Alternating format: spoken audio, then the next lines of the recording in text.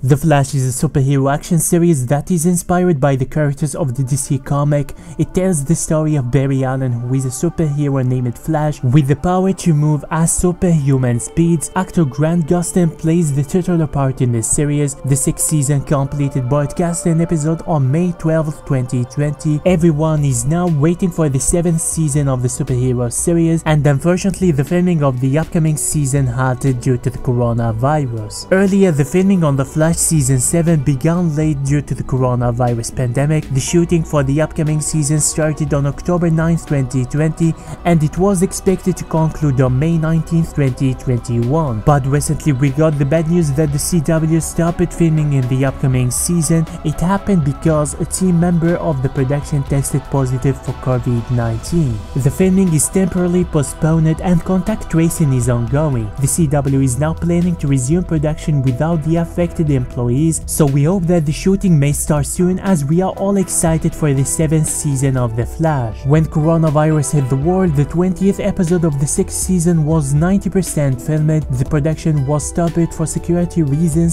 and after that the CW announced the episode as the season 7 premiere, so the great thing is the upcoming season will start soon airing episodes, a release date is set for the premiere of the new season, The Flash season 7 will premiere on the CW on February 20 23rd, 2021. You can watch the teaser for the 7th season that was released on the event of DC FanDome, just have a look at it, the link in the description below. This is all I got for this video guys, stay tuned to the channel and my social media, I will keep you up to date if any news related to the show revealed. This is Screen Rank, and I hope I will see you in the next video.